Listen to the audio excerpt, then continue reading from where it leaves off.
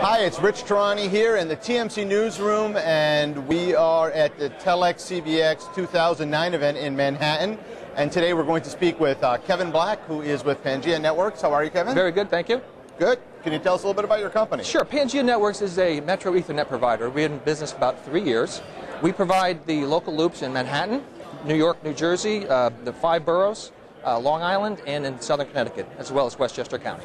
Great. And you have some uh, new products that are coming out? yes, we are providing a flat rate pricing to the carriers uh, for Ethernet services from 2 meg up to a gig E, and then in some cases we provide 10 gig to, to the carriers. So the flat rate pricing is, is good for the carriers in that they can hand it to their salespeople, who can then have a price, and this is the price in the 2,300 buildings that we serve.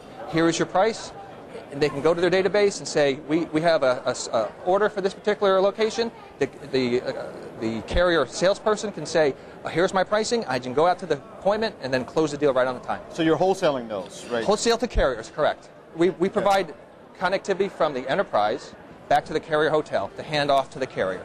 Okay, and so that's your that's your business basically is the wholesaling. Yes, it is. Okay, so in in this uh, economic environment, how are you seeing your, your business changing? We see a, a, big growth for us. We've grown about 30% year over year the last three years. We're at a higher percentage we're looking for this year. Uh, the, the, economy, carriers and, and, enterprise customers are coming to us trying to cut costs. We, we're able to do that for them. So we, we see a growth.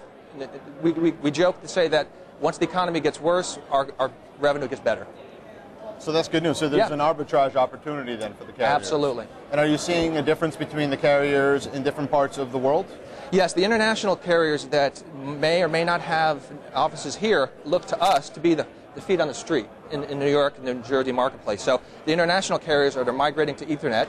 They're looking to us to provide that local loop, that last mile connectivity to that end user. And so you're seeing more and more Ethernet adoption? Absolutely. Okay, and uh, does that include uh, SIP trunking on, on these Ethernet lines? Or? You see, we're, we're more of a layer one, layer two, okay. and we provide that transport to that end user, to that carrier. We don't know what is on that Interesting. network. Okay. So need no deep packet inspection going on behind the scenes? No, they ask for jumbo frames. We offer Q and Q and QoS, the typical Ethernet. We have uh, expert Ethernet people in, in, in our operations group that work with the carriers to go over what their requirements are. Great. What's next for the company? What's next for the company is continued growth throughout New York, New York, New Jersey, uh, and we're going to be announcing an expansion in New Jersey, um, oh, to great. southern New Jersey to another LATA. That's great. And one final question is just for the competitive space. How do you play?